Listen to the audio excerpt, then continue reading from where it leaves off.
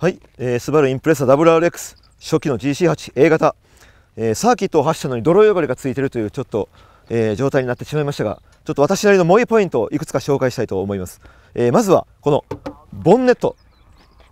このアルミフード製ですね。この92年当時の車でボンネットがアルミの車は、えー、多分ね GTR とか NSX とかそんなぐらいのレベルの車でしか採用しなかった、えー、アルミボンネットですね。でこのこの、えー、この WRC のワークスカーのグループ A カーのホモロゲーションを取るためにこの設けられたこの、えー、排熱の、ね、熱を逃がす穴。で市販車はご覧の通りこの蓋がねもちろんしてあるんですけれどもこれは単なる飾りとか、えー、おしゃれとかそういうのじゃなくて WRC で戦うために WRC のエンジンの熱を冷やすために、えー、設けられてるということでも今ちょっとね色を忘れてしまいましたがもう昔は洗車してこの間のこの溝を洗うたびにも WRC の、えー、ワークスカートの一体感を感じていたというこの溝でございます。このねプラスチックの部分なんであの塗装がねすぐ焦るんでちょっとこんな風になってしまいましたけどもこれが非常に大きな萌えポイントでありました。はい。でボンネットのアルミを、えー、このねボンネットを開けるたびにこのアルミの軽さ。これがねもうどんな他のやっぱりあのスチールの車のボンネット開けるよりもまあ34倍ぐらい3分の1ぐらいの軽さで開きますよね。でこの水平対向エンジンっていうのはま薄っぺらいエンジンですからインタークーラーがこのエンジンの上にあると。でエンジンの上にあると、まあ、熱がこもるとか、えー、風が当たるのが奥にあるとかで、まあ、いろんな説もありますがやっぱり私としてはこの前置きよりもこの薄っぺらい水平対向だからこそ上にあると。でそのためにこの、えー、この空気を取り込むえー、WRX ならではのこれいまだの未だに現行型にも脈々とレボーグにもね伝わっておりますが、まあ、フォレスターとかなくなりましたけどもやはりこの、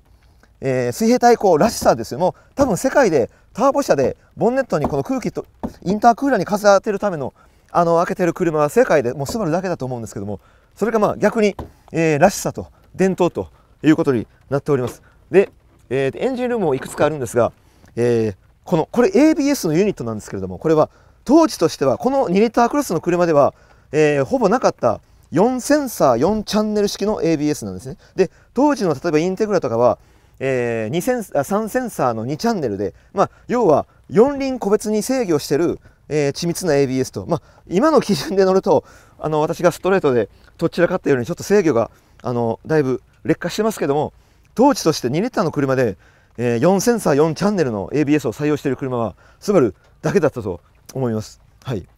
えー、あとはですね、まあこの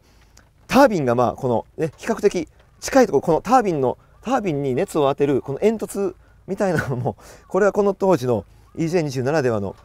ものですがその下にこう渦巻きが見えるとでタービンがノーマルのタービンがこうボンネット開けるだけで干渉しやすいというところも、えー、このエンジンの魅力でで逆にこの周りがやっぱり熱をこもる熱がこもるのでどうしてもこの、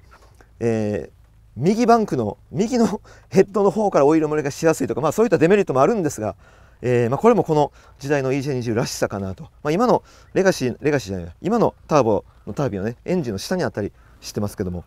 えー、まあ、そんなところであとまあパワーステがねパワーステのフルードがもう直しても直しても漏れるとかまあこれはこの時代の、えー、マイナートラブルの症状なんでまあそれはどうでもいいといえばどうでもいいですがまあそれもねある意味萌えポイントだったりするんです。直しても直してもこのオイルがね吹くという。今日はねあの奇跡的にね吹かなかった。まあこれ僕があんまりアタックできてなかった証拠でもあるんですけども普通サーキット走ると大概これがね溢れてるんですけどパワーステフルードが、えー、今日珍しく吹きませんでした。ひょっとすると感知したのかな。はい、えー、あとはこうあの今日走っててひょっとすると音も収録されてたと思うおする収録されてたかもしれませんが、えー、排気の排気管のその遮熱板っていう板があるんですが熱を遮る。その板がだいたい23年おきに、えー、割れるという。であの交換するのに1万円ぐらいで交換できるんですけどもだいたいこう3年4年くらいの周期で、えー、常に交換を余儀なくされるというそういうこう消耗品がついてるというのもこの時代の EJ20 ならではの、まあ、ある意味萌えポイントとあまたカラカラ鳴り出したかあまた遮熱板交換するかっていう、まあ、まあ、ある意味 GC8、えー、前期型 RR みたいな、えー、そういう部分があります。はい。えー、まあ、エンジンはこんなところですかね。はい。あ、思い出した。あのね、バッテリー、あの、今もそうですけども、スバル車は全車、えー、寒冷地仕様ということで、このバッテリーのサイズがね、えー、これ 75D23L で、えー、普通の2リッターの国産の、えー、サイズよりワンクラス上の、まあ、例えばアコードとかマーク2とかその辺の1クラス上のバッテリーがついておりますというのはやっぱり寒冷地でもちっちゃいバッテリーあ普通の標準サイズのバッテリーよりもでかいバッテリーを積むことによって寒冷地でもこう上がりにくいと、えー、全車寒冷地仕様。このバッテリーがねでかいんで1クラス上なんで交換するときは高いんですけどもああ俺の車は寒冷地仕様だと、えー、毎回こうバッテリーを変えるためにしみじみと味わえるという、えー、ものでございます。でボンネットアルミで軽いんでだいたいこの辺ぐらいからパッと閉めて閉めるとこう押さえるとねなんかへこまないですけどへこみそうな気がするんでこうあの重力で締めると、えいう感じでございます。このまあ、えー、標準仕様の STI バージョンなんかこうでかい羽がつきますがこの標準の WRX はこういう控えめなスポイラーがついていますけどもこれは実は飾りじゃなくて結構空力で効くんですね。で例えばボンネットをですねあの給油する時によく間違えてこのあしまった。すいません。車が車が劣化して前ではボン前ではトランクが開かなくなってますが給油口を開けるのと間違えてよくねトランクを開けちゃうあのうっかりミスがよくあるんですけども例えばこのまま気づかずに走り出したとしても、えー、だいたい時速85キロか90キロくらいになると空力でちゃんとこれがねカチャンとあの高速道路直線で走るだけで閉まるというこう非常にその、えー、80キロぐらいから空力がちゃんと効いてるスポイラーであるというのがですねそれはあの給油口の時に間違えたうっかりミスをするとおお俺のこのスポイラーはちゃんと空力が効いとるなというのを味わえる、えー、ポイントでございます。でまあこの当時当時というかまあ、えー、3代目ぐらいのレガシーまではまあサッシュレスドアを採用してましたがまあとにかくまあボディがコンパクトと、えー、これ全幅が1690で全長が1000じゃあ4320ですかね。もうね車重が、えー、1220ぐらいと RA とかだと1200切るんかな。何せこうまあ現代の基準からすると昔の車全部ちっちゃくて軽いんですけどもまあ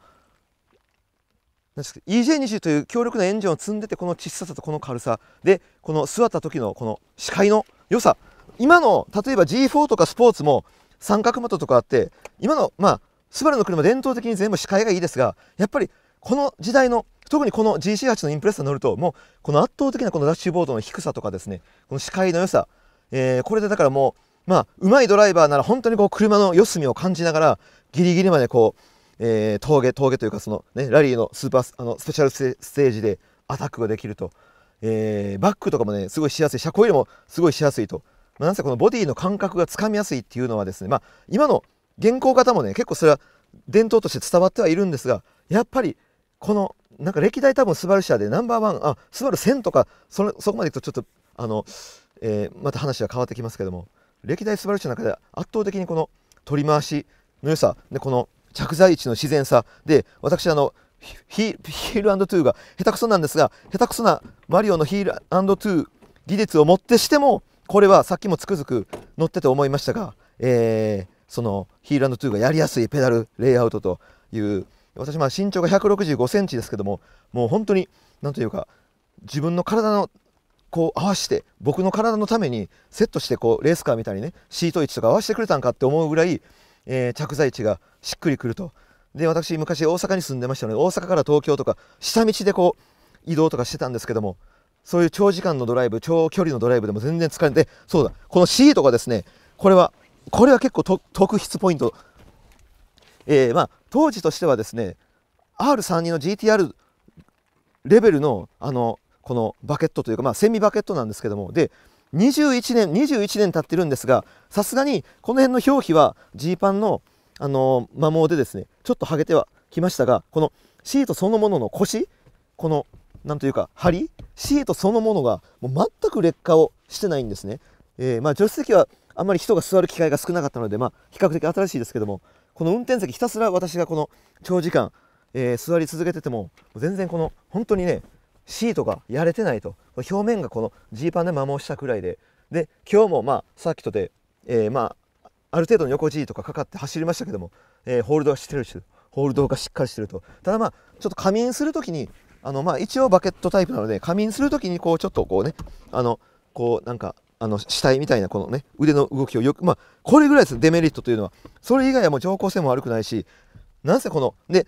私以外のね体格のもっと大きな体格の人とかあるいはもっと小柄な体格の人が乗っても